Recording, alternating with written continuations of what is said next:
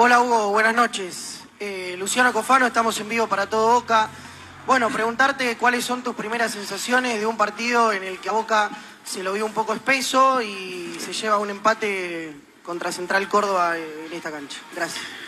Bueno, las sensaciones fueron diferentes de un tiempo al otro. Lo hemos visto de esa manera. Jugamos un gran primer tiempo con situaciones y el segundo tiempo nos costó un poco más. También tengo que admitir, admitir eso. Y creo que Central Córdoba nos cerró los espacios y ahí es donde nosotros no encontramos los, justamente esa fluidez que tuvimos el primer tiempo. Hugo, acá en el fondo, estamos en vivo para 10 Sports. Eh, te quiero preguntar qué buscaste con los cambios, cómo lo viste, Nicorsini. Bueno, con, con los cambios, como dije, necesitaba aire fresco, con Ceballos por derecha, su, su habilidad, su desparpajo para jugar. Y Nico lo hizo bien, lo hizo bien, necesitaba una ayuda, por eso también puse a Miguel para que jugar con doble nueve prácticamente. Y la verdad que bueno, nada, eh, no pudimos lograr desbordar para tirar centros o para llegar con situaciones de gol no lo pudimos hacer. Quizás algún remate tuvimos el segundo tiempo y, nada más que eso. Hugo, buenas noches. Eh, estamos en vivo por Radio Mitre. Te quiero preguntar por un jugador en particular, por Luca Langoni, que, terminó el año pasado siendo protagonista, posiblemente los jugadores más destacados, goleador del equipo. Y me da la sensación que ahora que comienza el año, no sé si corre desde atrás, pero por ahí no tiene tantos minutos. Eh, quiero preguntarte si es por una disposición tuya, si es porque por ahí físicamente le falta, eh, ¿a qué refiere esta situación? No, Luca, más allá de todo lo que vimos y nos dio Luca el año pasado, que estamos muy contentos, yo feliz, pero Luca lo vamos a llevar despacio. Yo quería recuperar jugadores, fue una pretemporada dura para todos y Lucas es un jugador que necesita este, espacio para jugar y cuando encontramos equipos que nos generan doble línea de cuatro, se complica, pero bueno, va a tener su oportunidad. Si preocupa eso, va a tener su oportunidad. Es un lugar, es un jugador tremendo y bueno, nada, de a poco. Hugo, buenas noches. Acá Petro Cabochef, estamos en vivo para Radio Continental en Somos Boca. ¿Dónde estás? Acá. Acá al final. Ah, Peto. Eh, Hugo, ¿te sorprendió en algo el planteo del rival hoy? No, no, sabíamos, lo habíamos trabajado en la semana. Este, Leo es un técnico que trabaja bien los equipos y sabíamos cómo nos iban a plantear. Igualmente nosotros en primer tiempo nos faltó esa puntada final, nos fuimos precisos porque situaciones de gol creamos todos los primeros 45 minutos. Y bueno, quizás no entró un poquito a la desesperación en el segundo tiempo porque se, se cerraron mejor ellos y nos jugaron de contra. Hugo, estamos acá en vivo para, el show de Boca. Recién hablabas de Langoni y decías que no lo pusiste porque no había espacios y precisamente Langoni necesita espacios. Generaron situaciones hoy, tuvieron muchas situaciones, no pudieron convertir. Bueno, sabes que cuando no se convierte, la gente empieza a pedir por apellidos que habitualmente están en el banco, ¿no? Eh, siempre pasa en el fútbol, es más viejo que el fútbol. Sí, sí, entiendo la gente, todos queremos ganar, yo primero que nadie, pero también los jugadores, hay algo realmente importante para ellos que es la confianza. Yo le tengo que brindar confianza. Vamos a la segunda fecha recién, no nos desesperemos, este, tranquilidad. Los jugadores que, que la gente quiere ver van a tener sus oportunidades sin lugar a duda. Es un año muy largo, con muchas competencias. Así que nada, para mí el jugador primero le tengo que dar confianza y después a través de ello espero el juego de, ellos fundamentalmente adentro de la cancha. Hugo, acá atrás estamos en vivo para Dispor Radio.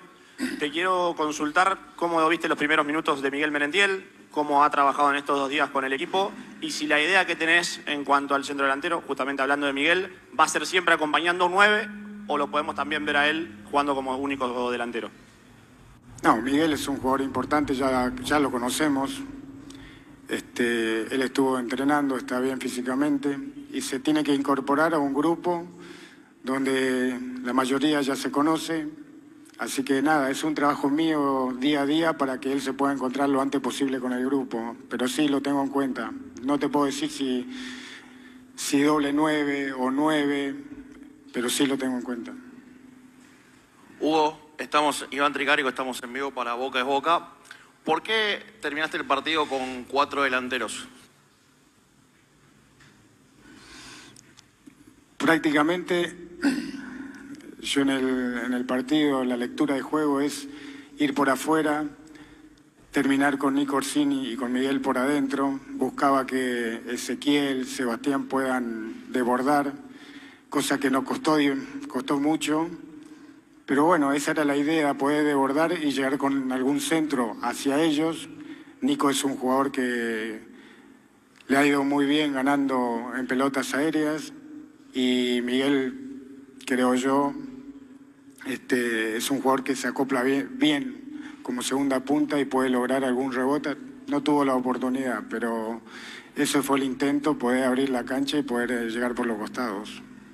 ¿Qué tal, Hugo? Buenas noches. Estamos en vivo para Boca de Selección con Daniel Moyo por Radio del Plata.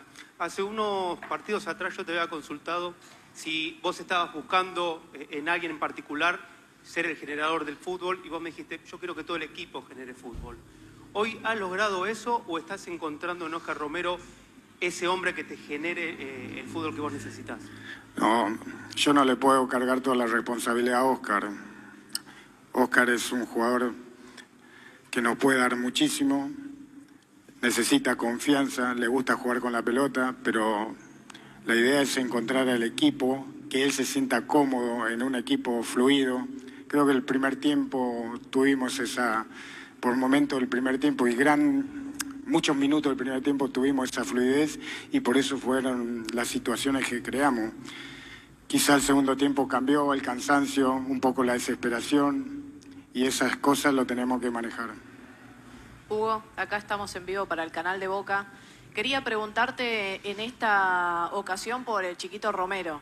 El último penal que él había atajado fue en el 2017, hoy lo hizo muy bien de nuevo y fue un refuerzo en su momento muy cuestionado.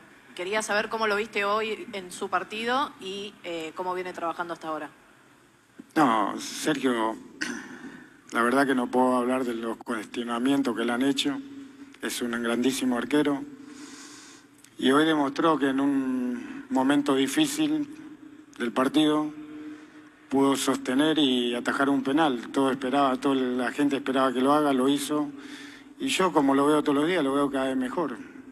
Es un arquero prácticamente con una experiencia notable y lo está demostrando partido a partido. ¿Qué tal Hugo? Eduardo Martínez de Hola, La Eduardo. ¿Cómo te va Hugo? El otro día te pregunté sobre la mejoría en el juego, me dijiste que te preocupaba y que ibas a tratar de que el equipo mejorara. Más allá del resultado, ¿hoy te vas conforme con el juego más de lo que mostró Boca la semana pasada? Mira, hemos mejorado, hemos tenido situaciones y eso tiene que, las situaciones tienen que ver con el juego. Entonces, tenemos que seguir sosteniendo eso. Es un trabajo que te- como entrenador lo tengo que hacer, seguir sosteniendo ese, ese juego que queremos. La verdad que a veces este, el rival te pone oposición y contra eso tenemos que trabajar. Eso es indudable y eso lo tengo que hacer día a día porque generalmente a Boca muchos partidos que vamos a tener le va a pasar esto. Pero la verdad que tenemos que seguir de esta manera como hicimos el primer tiempo. Yo me quedo con el primer tiempo y parte del momento del segundo. Por eso te hablo que el- los partidos duran 90 minutos y ojalá lo podamos llevar a cabo la, la cantidad de minutos posible, ese buen juego y toda esa posibilidad de opciones de gol que tenemos. Que la próxima ojalá la podemos concretar. Última pregunta. Hugo, acá, ¿qué tal? Gonzalo Zuli, estamos en vivo para Cadena Geneise. Eh, hablaste hace un ratito de la confianza que le generás a los jugadores al repetir equipo. eh, y yo te quiero preguntar, porque también eh, lo que se ve es un cambio en cómo venías haciendo los cambios, justamente, justamente las modificaciones dentro del partido del año pasado a este año. El año pasado se los veía más, más rápidos, va el segundo partido y son eh, 20 minutos lo del segundo tiempo que esperas para hacer los cambios. ¿Tiene que ver con lo mismo, con generar confianza en el equipo y esperarlo y darle la oportunidad a los que están jugando? Totalmente, el jugador vive la confianza. Si yo le saco esa confianza, soy responsable que la mayoría se sienta de la, de la misma manera. Pero sí, este, quizá el año pasado no es comparación porque tuvimos un, un tiempo de pretemporada, de trabajar, se van a ir soltando cada vez más, pero nada más, es, es eso, darle confianza partido a partido y que ellos después demuestren cada vez que tienen la camiseta lo que, lo que pueden hacer. Bueno, gracias Hugo por tu tiempo. Gracias, gente. Muchísimas gracias.